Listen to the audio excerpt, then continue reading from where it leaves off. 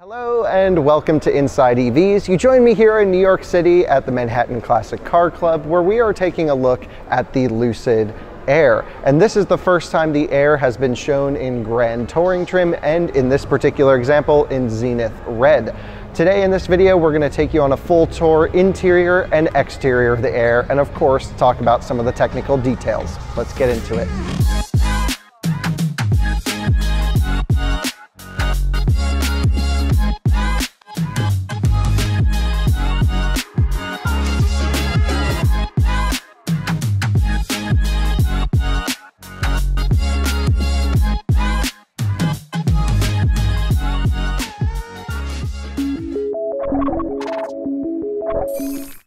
This is the Lucid Air Grand Touring. This particular one has the 113 kilowatt hour battery pack with over 517 miles of EPA estimated range. The price tag, a cool $139,000 before federal incentives. However, you're actually getting quite a lot of value for that $139,000. You see, Lucid's taken a totally different approach to building EVs than almost anyone uh, Tesla has done some of this, but this car is built from efficiency from the ground up. Everything works together harmoniously from a technical perspective. It allows this car to get almost 4.5 miles per kilowatt hour, which is just insane, especially coming from an executive sedan, something of this size. And all of the components work together to help the air work around, and I mean literally the outside air is not the lucid air, uh, manage around the outside of the air to allow for the most amount of efficiency and range while cruising at highway speeds. So let's take a walk around the lucid air and we're gonna start back here at the trunk and later on I'll show you inside of the trunk that you can see it's this giant clamshell design. It lifts up, it is not a hatchback, and you have the widest rear tail light fitted to any vehicle on the market. I think that's pretty cool. Has a really nice 3D effect on the inside as well. You can see the Lucid lettering here on the back as a nice touch so you know exactly what you're looking at when you're walking around.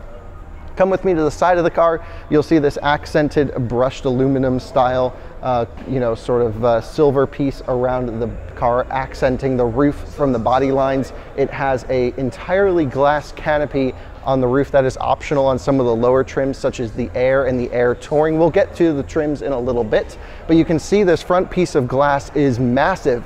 It starts all the way down here with the windshield and ends all the way above passenger, you know, front passenger head. So one solid piece of glass, very much Model X vibes that I'm getting here for sure.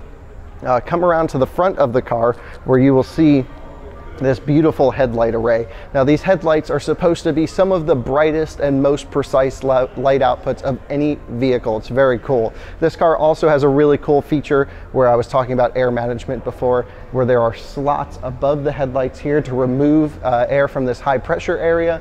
Uh, that the air passes over uh, cooling ducts for the LED units for the headlights, and then it moves around the outside of the car. Just a nice little touch to add to the efficiency.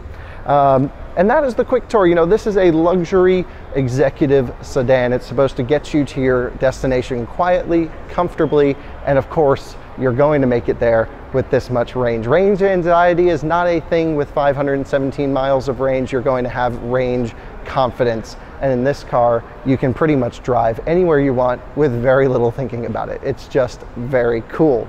Um, now that I've shown you the exterior, let's jump on the inside. We'll take a tour of the inside, see what it's like. Do I fit in the car? How comfortable is it? And then we'll talk about some of the technical details and we have some cool things to show you on the other side of the room here.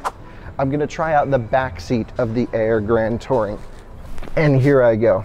Well, the biggest thing I'm noticing, again, this is my first time sitting in the back seat of the Air, is just how low the floor is. I rode over here in another electric vehicle and my knees were kind of in my face because the battery pack was so high. I can feel a really nice cutout in the floor where my feet can sit low.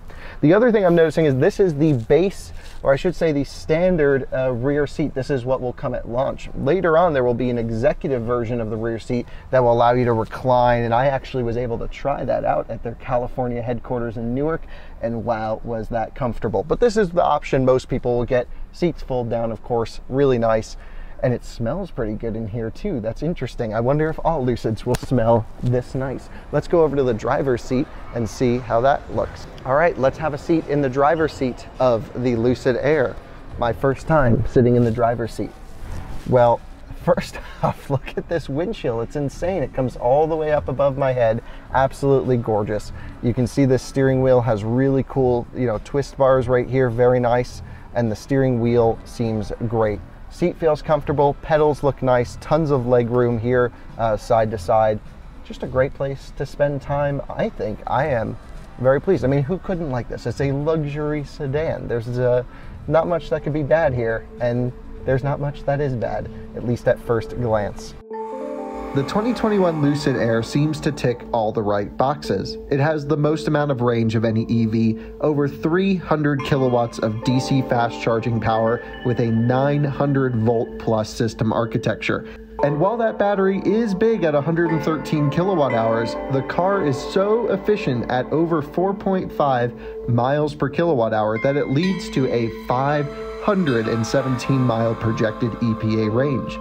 The Lucid Air will come in more drivetrains that are not yet released, such as a tri-motor version. You're looking at the back end of this car right now. This is two electric motors on the rear axle, one on the front.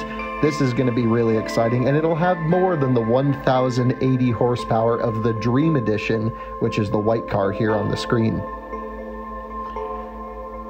If you haven't had a chance to learn about the Lucid Air's technical details, head over to InsideEVs.com where we have a full article on everything you need to know about the Lucid Air, and we go very in depth onto the technical nitty gritty of this amazing car. Well, we've taken you on a tour of the Lucid Air, a lot of it with background images and video, but I really appreciate you tuning in. We will certainly have more with this car. I cannot wait to get it in our hands to put it through our 70 mile per hour range test, which is world famous now, and our DC charging test from zero to 100%. How long will it hold its charge rate above 300 kilowatt? There's only one way to find out and we're going to do it as soon as we can. Thanks for tuning in. If you want to see all of those tests and many more across every electric vehicle, subscribe to our channel right here down below on this video, and we will see you on the next one. Thanks for watching. Bye-bye.